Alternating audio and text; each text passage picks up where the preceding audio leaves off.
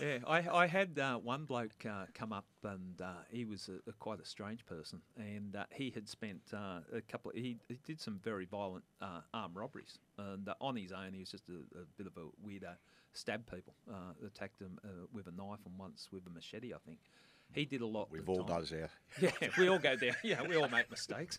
Um, but uh, he fronted me in the in the street one day, and I recognised him. I thought, where is this going to go? And he, he put his hand out to shake my hand. I thought, okay, well at least I've got hold of him. Whether he's going to stab me with the other one, shook his hand. He said, "Oh, thank you. I, I needed straightening out." So yeah, it- Wow. it's yeah, and I'm sure there's other people that I've, I've put away that if they saw me on the street, I probably wouldn't see them come in and be a baseball bat to the back of the head. Yeah, right. So they're the ones I worry about more than the ones that come up and front me. Like you have people threaten you when you, you do put them away. If I see you, I'm going to do this, do that.